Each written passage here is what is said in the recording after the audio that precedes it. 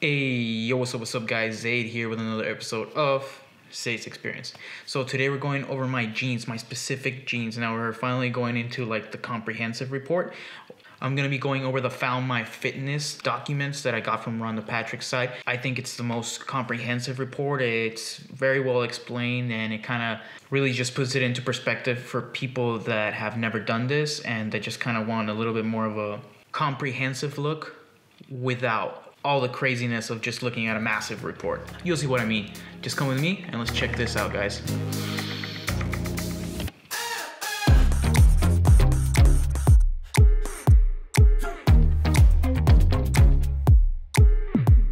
So thanks for tuning in to another episode of Zaid's Experience, guys. As usual, please go ahead, comment, like, and subscribe. You guys know the deal. Please push that notification bell if you guys want to see more content such as this and definitely definitely push that like button after you've watched this video if you liked the video. So now let's go into the comprehensive report.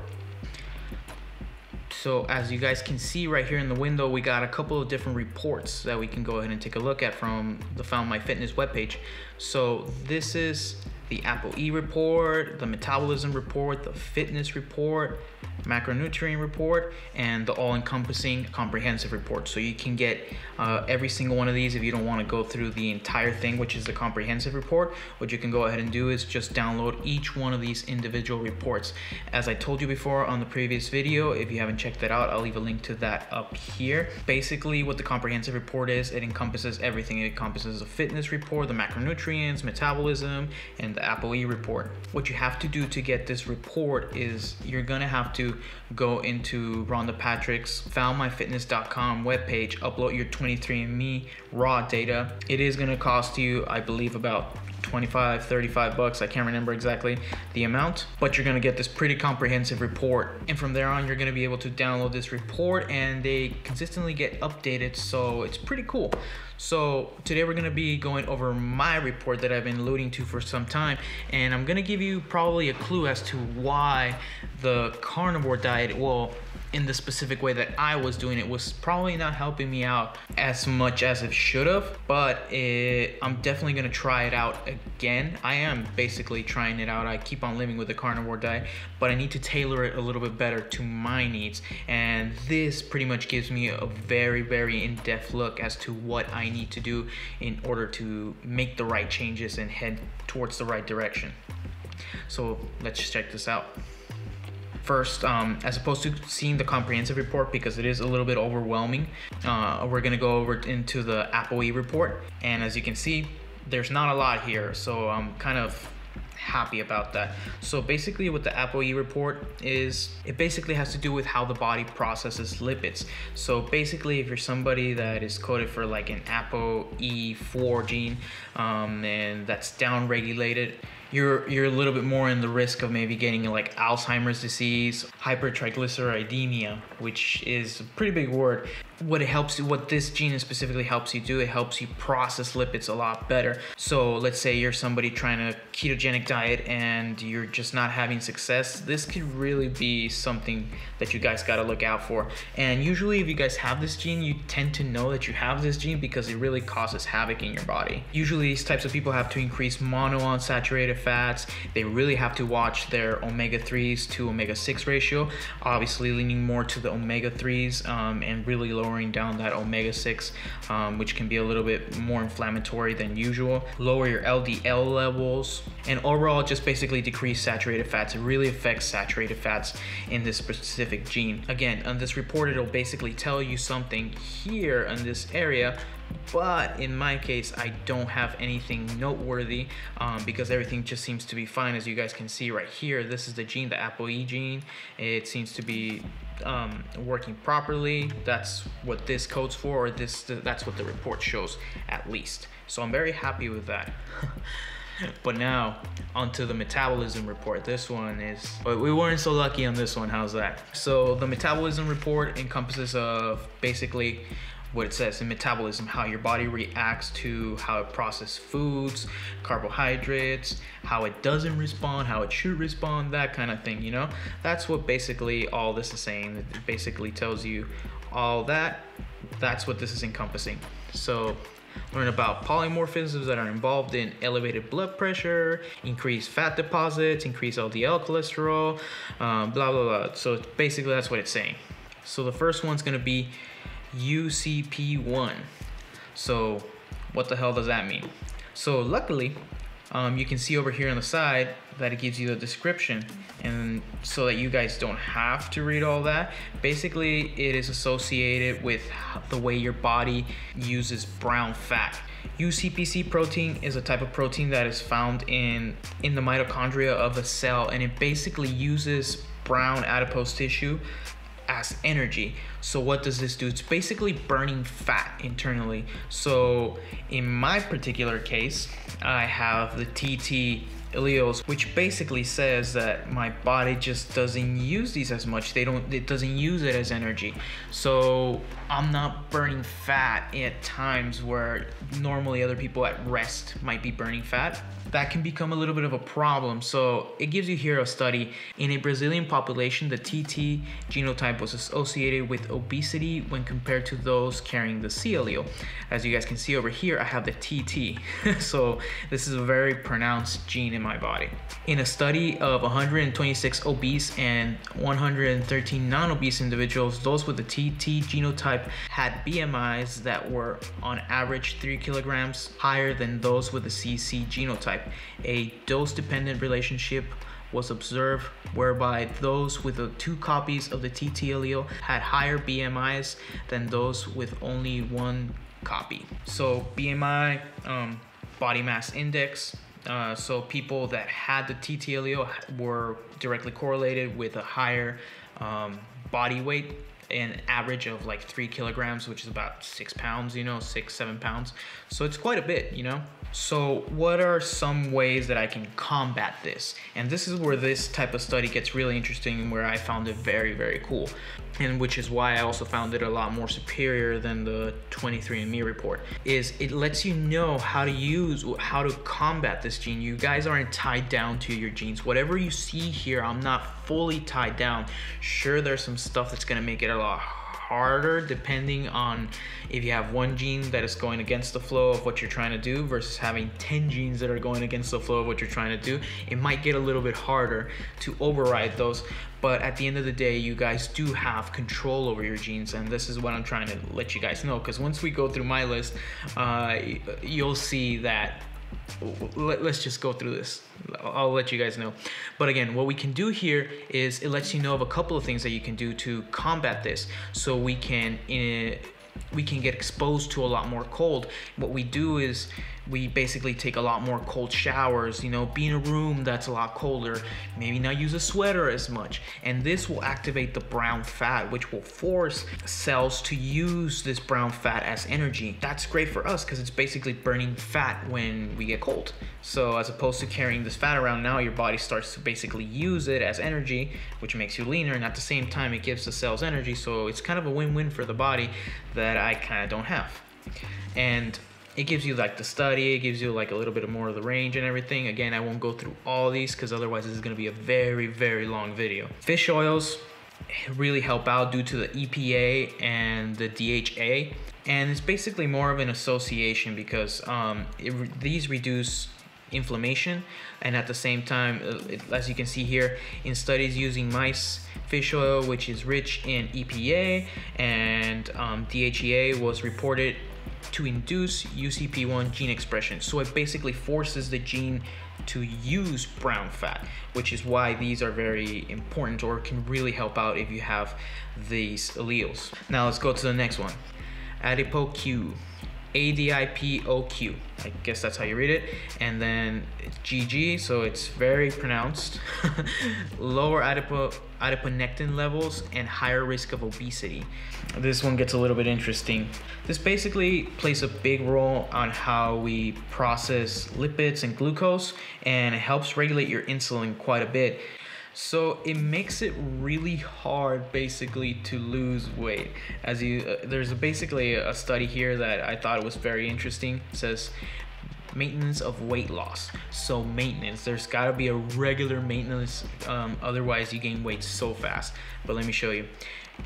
Researchers uh, studying a group of 180 obese Spanish individuals observed that subjects with the GG, which is what I have, genotype exhibited a clinical signs of insulin resistance and metabolic syndrome when compared to the AA and AG subjects. Individuals with the GG genotype also had higher O insulin, so we had a higher level of insulin resistance to those people with the AA or the AG allele. Insulin and triglyceride levels than carriers with the A allele. After following a low calorie diet for eight weeks, these unfavorable biomarkers disappeared. However, when re examined 32 weeks later, the metabolic risk characteristics had returned in the GG individuals, with those with the AA alleles were protected from the weight gain. So, what does this mean? So, basically, the people with the GG allele had a higher level of kind of regaining that weight that they had lost versus the people with the AG or AA allele. So it makes it really hard not only to lose weight, but it makes it really hard um, in the sense that you have to be on it in order to not gain weight. And that's what I've told you guys before. If I'm not on it, if I get a little bit off track, just like I told you in my Japan video that I gained um, 12, 15, I gained like 15 pounds. It was ridiculous over a span of 12 days. I, it really, it really does affect you. So then it talks a little bit more about longevity, weight loss and exercise, and dietary factors. So it just really goes into the stuff that you really can or cannot do. Or, well, more than stuff that you should do in order to combat this. There are studies which demonstrate that both fish oils and fiber supplementation are associated with the increase of adiponectin levels, which is basically what I don't have or don't have a lot of. In addition, there's a positive relationship between caffeinated coffee intake and higher adiponectin levels. Hmm. So yeah, morning coffee, guys. In contrast, smoking may have a detrimental effect on adiponectin levels and may negate the positive effects of an improved diet. Intermittent fasting. Time restricted feeding has been shown to increase adiponectin levels in mouse and rat models. I'm not a mouse, I'm not a rat, but I definitely tried intermittent fasting, and as you guys have seen from my past results, it has worked. Then also at the top it says weight loss and exercise. Weight loss by lifestyle changes such as diet and exercise are shown to increase adiponectin levels. So basically just do the healthy kind of stuff, you know? But mainly one of the main main things to take away here, fish oils really help. Fiber apparently helps. Weight loss and directly correlated to having a healthy exercising life in this sense and intermittent fasting really really helps as well because it raises that. So again these are combos that you can use and i like to think about these as more than just one thing you can do for each one of these things. It's more of a combo situation. You do this in accordance with this and it, it adds up. Again let's go into another one. Ace that's the gene. And again gg very very pronounced increased risk of elevated blood pressure, and impaired glucose metabolism in response to high saturated fat diet. Well, so high saturated fat diet. Uh, the carnivore diet isn't always a high saturated fat diet, but it can definitely get into high saturated fat territory. And this is where I might have messed up eating some more saturated fats than not, like some cheeses maybe on the second time around, maybe adding milk, you know, that kind of thing. It just maybe didn't sit as well as it should have if I was somebody that could process these a little bit better. Um, but yeah, I, I, have a hard time um, processing saturated fats. That basically that's one of the things that this gene does. It's associated with the risk of elevated blood pressure and impaired glucose metabolism in response to high saturated fat diet. And it tells you up here the ACE gene codes for uh, and to, it, it can get really wordy guys with all this. So um, if, if you guys want to go ahead and pause it and go you guys can go ahead and take a quick read over it. But basically um, what this tells you is to decrease the overall intake of saturated fat. So again if I was that's why when I was trying maybe a ketogenic diet for just like two weeks I was able to see this is not jiving with me you know coconut oil works great for some people all these other fats just work really really well for some other people like butter and all this not for me. I gotta stay away from them. And I've never had an affinity to eating fat. I've, I've said this before in other videos. I know people like to eat fat, but I've never even really had a taste for it, even for good fat. I've tried some good fat, like from really nice cuts of meat, grass fed, grass finished, you know. It does taste a little better, but I've never gone looking for saturated fat. Like I, I never had that desire.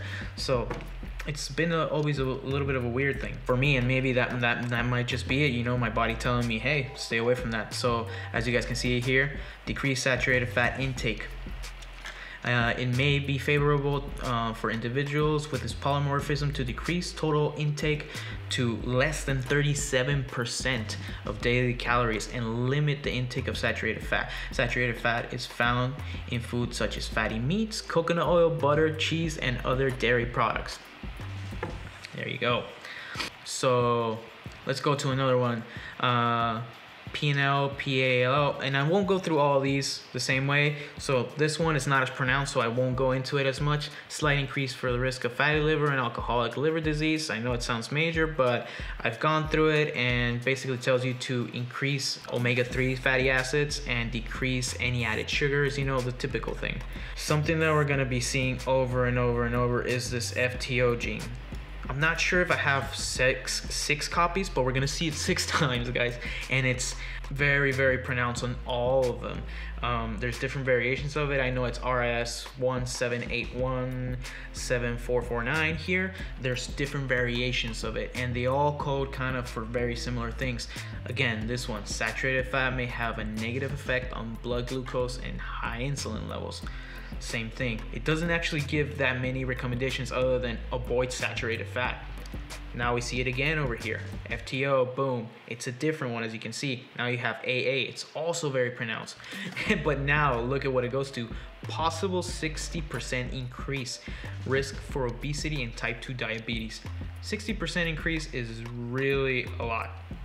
And then the FTO gene, the major genetic risk factor for obesity, codes for fat mass obesity associated protein. Ghrelin, and often called the hunger, uh, the hunger hormone, is produced when the stomach is, is empty and is thought to stimulate appetite and desire to eat. The genotype has been associated with the increased risk of obesity and type 2 diabetes due to high production of ghrelin. So it basically lets tells your body that you're hungry all the time. So basically, you're looking for food all the time, which is why it's also very hard to get satiated for me. And this has been something that I've always struggled with to keep completely satiated. It's not it's not something that comes very natural to me. To me, I have to cut it off in one way or another. And if I eat a lot of fat, I have to make sure that it's not a lot of saturated fat. So hence, you see the balance. it, it, it it all works synergistically. Just be very aware that this exists. It doesn't give you a lot of help in, in context here, but sleep has been shown to be very important to regulate this. What else? What else? What else? The AA genotype has also been associated with obesity, particularly in the context of high saturated fat and low polysaturated fat intake. So yeah, this is the other thing. Um, again, lower saturated fats and get a little bit more of the monounsaturated fats, polyunsaturated fats, you know, get all this other like stuff that you would find on fish, omegas, again, all these fatty acids that just aren't saturated fat basically. Again, you see FTO once again, boom, really pronounced uh, 1.7 fold increase in obesity risk and decrease thermogenesis. The whole UCP1, remember about that? That um, thermogenesis basically had to do with us, with me producing the brown fat or using the brown fat as energy. So this adds on to that. The FTO gene, the major genetic risk factor for obesity, codes for fat mass index, for uh, increases for obesity. Okay, and gives you the same explanation. So right here it tells you with the whole fish oil thing, uh, fish oil activates UCP1 and can increase the thermogenesis. Thus, fish oil supplementation may be beneficial for individuals with a CC genotype, is what I have. Again, we can also use the cold thermogenesis to help out. Taking a cold shower will really help, keeping the room cold, being exposed a lot more to cold to force your body into using this brown adipose tissue. Um, exercise, it also it's a given, I think. Let's move on to the next one. FTO again. Oh wow. Um, 2.76 fold increased risk for obesity particularly with saturated fat. Now, are you guys seeing a little bit of a correlation here? FTO gene, the major genetic, blah, has been associated with 2.6 increase, blah, and then it gives you again more of what you shouldn't eat and just saturated fats and same thing. Then we got another gene just for the sake of variation, FGF21, and it tells you it's not as pronounced, but it's slightly pronou- uh, pronounced in me. Slight preference for sweet over salty foods, slight metabolic risk that might affect dietary suitability. This sucks because I do like sweets and it's always been a battle for me, but mainly the one thing that I crave a lot that is is insane are two things dark chocolate, not even sweet, sweet chocolate, dark chocolate. If I see 95% dark chocolate, I'll crave that so bad, guys. My mouth really, uh, right now, it waters. It's the one thing that makes it do that.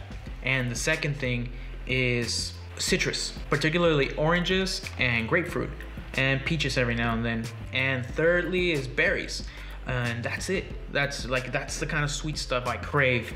But other than that i mean i can basically block everything but i know i have to keep away. Maybe not as much from those but i like to keep away from stuff that has that like you know breads that have orange breads that have chocolates breads that have um, that kind of stuff. You know carbs in combination with these i really really have to like struggle with my inner demons to kind of just fight this out so yeah, I do have a slight preference for the sweets, guys. Again, let's move on. It doesn't tell you how to combat that, but it does tell you the suitability for a ketogenic diet. A study with the FGL uh, knockout mice missing the FG missing this gene showed that these animals did not respond well when fed a ketogenic diet. As I told you guys, not everybody responds well to a ketogenic diet. It really depends on who you are. And I think these studies, that's why I really like the study. It tells you a couple of things.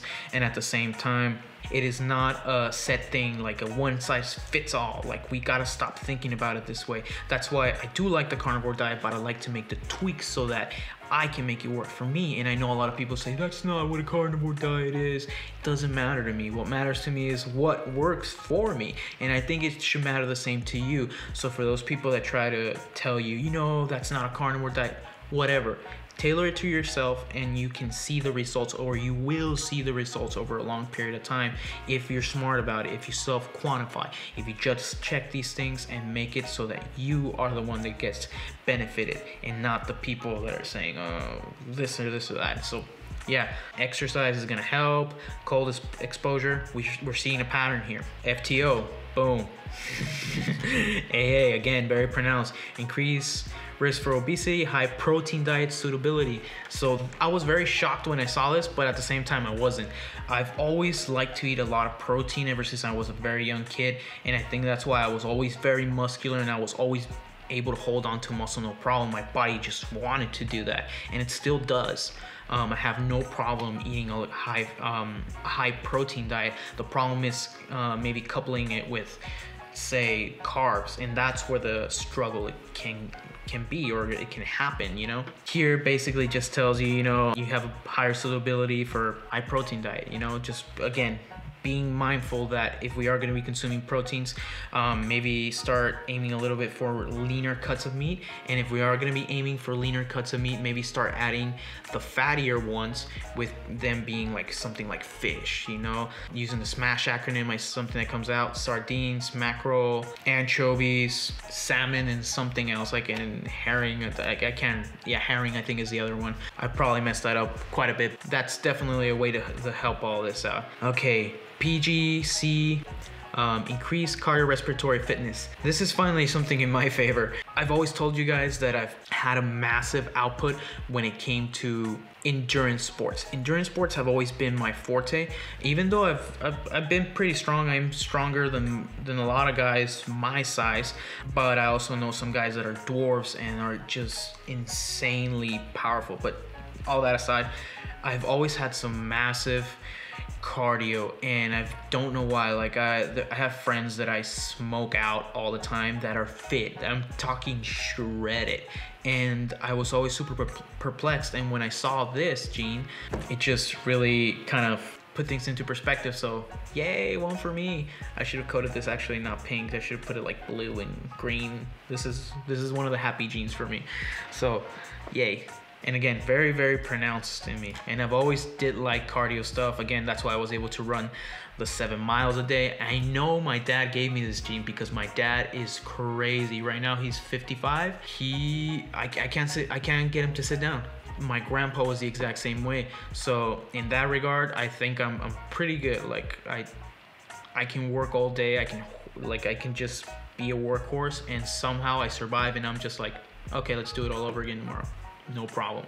Increased cardiorespiratory fitness, it really helps out with anything that has to do with cardio or just I think endurance mainly. There's another gene, slight increased risk for type 2 diabetes, polyunsaturated fat. Uh, keep on going. This is the same thing. Uh, GG, T, TFAP2B. Again, very pronounced increased risk for increased risk for obesity and large waist circumference alters response to diet. So this report after a while really starts to push on using maybe a more Mediterranean diet, which is basically more polyunsaturated fats, more fish, lower red meats, that kind of thing. But I think if we use a good amount of lean red meats in combination with some fish oils, um, we can keep a good carnivore diet. And ppm1, uh, okay slight elevated circulating B, BCAAs and risk for type 2 diabetes, high fat, again, high saturated fat, sorry, high, high fat diet. So yeah, lower the fat, basically. Uh, FADS1, slight increase in inflammation in conjunction with high linolenic acid, omega-6, again, lower the omega-6 ratio, lower the omega-6 and bring the omega-3 ratios up. That way you can, you know, have a little bit more balance than that. Saturated fats, bring them down. GIPR. This is very pronounced as well. Increased risk for obesity. Go figure. And another FTO gene at the very, very bottom. Very pronounced again. Increased risk for of obesity and fiber may help with abdominal obesity. I was very perplexed with this because I've taken fiber before on its own and I don't think it ever really made a difference other than it just made me poop a lot but I never saw uh, actual increase in fat loss. So this one I'm gonna have to take with a grain of salt. And since I've been in the carnivore diet, that kind of really, you know, turns all the fiber theory uh, on its head. So I will potentially try it out in the future but as of right now i'm gonna stick to something a little bit different. But yeah as you guys can see then you have the less noteworthy stuff. Uh, again these are just basically genes that are just kind of normal in the general population and i think it's kind of cool that they included these. Again i don't want to go through all these i guess they're just kind of not as important as the top one. But now let's go into the fitness report and i know this is getting lengthy. Again this is this will be fairly quicker than the other one. The metabolism report was the main one that I wanted to go over. SLC30 a8. this is the snippet involved and everything. Increased risk for type 2 diabetes related to zinc transport, susceptibility, and DOMS. So I have always had a, a history of not recovering fast enough. And what this kind of feels like is like I basically do have delayed on muscle soreness all the time. So what this basically is telling me is that maybe I should up my zinc intake. Zinc is a trace element involved in a variety of cellular processes. For example, serving as a cofactor, in numerous enzymes as well as its role on insulin secretion and storage. So very, very important for me to up my zinc intake. Okay, so it just tells you delayed on muscle soreness and that you can basically benefit from taking intaking zinc. And then these again are a little bit not as much of a problem for me. I really am interested in the ones that are very, very pronounced in me. Cole 5A1 slight increased risk for Achilles tendinopathy. So just basically got to be aware that I'm taking enough magnesium in, that I'm getting my zinc in, you know, that I'm recovering because of that zinc deficiency. I tend to lack recovery a lot faster than most people. So just making sure that I get enough zinc into my diet will help out with this particular gene as well. So it's a combo, guys. Begfa. that's that's a better way of reading these. Slight improved endurance capacity. Again, CG. It's not as pronounced, but I can de- I definitely know that the endurance capacity is there. Improve adaptation to aerobic training.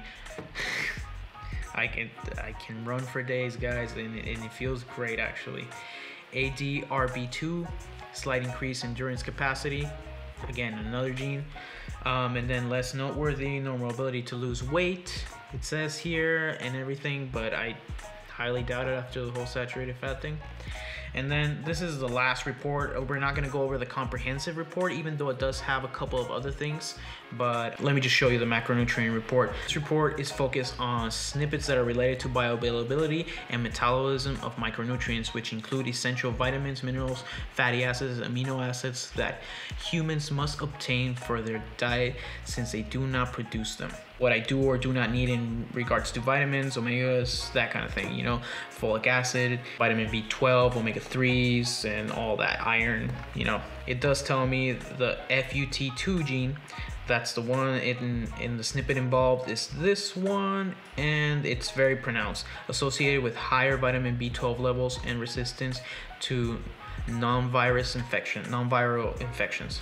So I do have a harder time, as I've, I've told you guys before. I don't get sick as much. My girlfriend always comes in sick because she works with kids, and for some reason, I never ever get sick. Like if I ever if I get sick, I get sick maybe once every two years now. The trend's been going up actually, which I'm happy because that's telling me that I, I am doing something right. So I was very happy with that. Microbiome, it also tells you, as well as diet, one of the factors that can determine the composition of a microbiome is the host genotype. Non-secretors, AA, which is basically what I have, do not express histoblood group antigens in the essential mucus where microorganisms can bind. So this can also be beneficial because certain helpful microbes might not bind to it, but at the same time, it kind of does make you immune to a lot of um, non-viral infections. So you know, kind of a double-edged sword because it can also kind of decrease, uh, just as it says here, non-secretors had uh, reduced diversity, richness, and abundance of bifidobacteria as compared to secretors, which is why probably kefir helped me out so much. It brought in so much more bacteria, which helped me just plow through carbs when I was trying out carbs and right after I had my kefir that I made at home or kefir I'm never gonna get it right it just felt so different it felt like if my stomach would get immediately bloated I would drink the kefir and immediately like five minutes after it just felt like it it did something completely different and after a while I I felt like I didn't need to drink it as much but it's it's nice to know that I have that as a tool that I can come back to all the time if I do want to have a cheat meal every now and then. And plus, these kinds of bacteria stay in your gut. I think kefir is really really good in that sense, and that it stays in your body for a longer period of time versus maybe yogurt, which just kind of goes through you and you know a lot less bacteria. Again, there's another one over here, a slight increased risk of Crohn's disease associated with impaired vitamin C transport. Again, I'm not super worried about that. It's not as pronounced. MTRR, increased risk for hypo, hyperhomocysteinemia and altered choline metabolism. And this is where I told you guys that I know that when I eat eggs, I feel great. So I really have to check my choline intake. Eggs are a great way to find choline. Liver is another great way to find choline, and there's a couple of other things. Actually, chocolate um, has a high amount of choline, which is great. Dark chocolate has uh, high amounts of choline, so I really do like chocolate, and maybe that's one of the reasons why I crave it, and it does make me feel really good, surprisingly. So that's basically what this is saying. Dietary choline intake. Choline is found in foods such as eggs, meat, fish, and cruciferous vegetables. Strict vegetarians may need to pay special attention to meeting their choline needs. And once I feel like when when I don't eat enough egg or I don't eat enough red meat, which is why I prefer, I guess, red meat over chicken, I do feel like I will have energy. I will be able to talk to you guys, but I'll feel like I'm gone, like I'm mentally gone, just like. Eh. You'll find in a lot of focus supplements that you'll find choline in high amounts. I'm talking about like 300 to 600 milligrams, and especially if it's a high quality supplement you'll find it in higher dosages. But yeah choline really helps me focus. It really helps me be here remember stuff. It just helps out so much. Biotin and reduction in homocysteine you know vitamin b12 and b2 cobalamin and riboflavin. Those are the two vitamins. Uh, balance is thought to be an important factor in people with this polymorphism. When vitamin B12 status was low. Those with the G allele had a higher homocysteine levels, and those with the AA genotype individuals susceptible to low vitamin B12 status include older adults, including older adults, those with digestive issues, Crohn's, colitis, post-gastric bypass patients, and those following vegan diets. TMAO may enhance plate platelet regeneration, clotting, and increase heart disease risk. So there's got to be a fine balance in how much I intake and how much I not take, you know. And then we got the fats. One uh, associated with inter- intermediate phospholipid um, choline levels, a little bit lower levels, or it's not as pronounced in me as in other people. Again, talks about the same thing of, of choline and everything. And we got this one genetic risk for vitamin D deficiency, um, take a little bit more vitamin D. That's all it's saying. Again, this one as well. It's saying that I don't convert it as well and what the steps that I should um, worry about. But basically, at the end of the day, it's telling me to take a little bit more vitamin D than than most people. Same thing. Uh, vitamin D binding protein. So I do take vitamin D on the side. I take about 5,000 I IUs, and that definitely helps out GSTP1 supplementing with vitamin E may be harmful. Try to keep that low. Whenever you do buy a vitamin D supplement, usually it comes with vitamin K, and that really does help. Slight increase in serum calcium. We got another one over here. Slight increase in serum calcium levels, possibly associated with lower bone mineral density.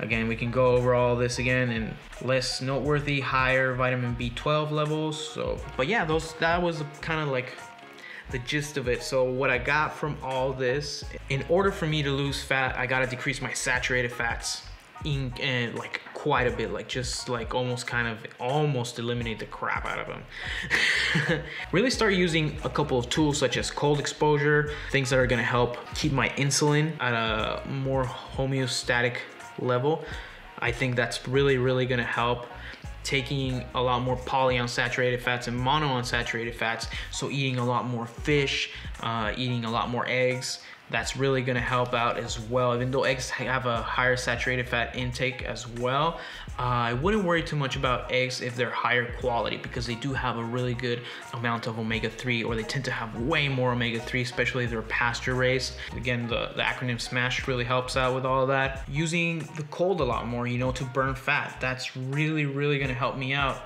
and I think that's something that I haven't used enough of. I've used some of it, but I'm definitely gonna start to take more cold showers. I'm gonna make it a regular. That way I can see and start tracking the progress of what that's gonna do to my body, which I'm super, super interested. So I'm gonna start taking more cold showers, just be cold in general, and hopefully we can get that brown fat mobilizing. We can get those cells to start using that brown fat as energy you know, a lot of good takeaways from all this, and that's why I really liked this report from Rhonda Patrick. It, it, it gives you more than just the report itself. Like, you have this, you're screwed. If you want to read more on it, and then you read this paper that's like complete gibberish or not gibberish, but it's really hard to digest and it gets very wordy. And after a while, I mean, you, you only have so much brain power, you know? Really make sure I'm getting my choline in. That's going to be another thing that I'm going to be very worried about. I'm getting my vitamin D. That's also something that I'm going to be very worried about getting in. So this, these are all things that I uh, that I've started to incorporate slowly, and this is why I'm saying that I can definitely optimize my carnivore diet and make it tailored to me. Eating organ meats is definitely going to help out. Eating eggs, eating fish, that's definitely going to help out. But knowing that I have to lower the saturated fats, I think is a game changer for me. If you guys stuck around to the end of this video, I really, really do appreciate it, guys. Thanks for joining me in another episode of Zaid's Experience.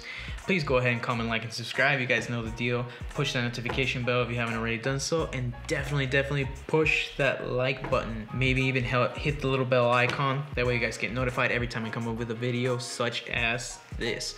But yeah, I would have gone over the comprehensive report if you guys wanted me to go over the comprehensive report, which does have a couple of things here there that are extra. But again, I try to keep this as short as possible. I did not succeed. but that's what editing is for. But in any case, guys, that is enough for today. Zaid out. Peace.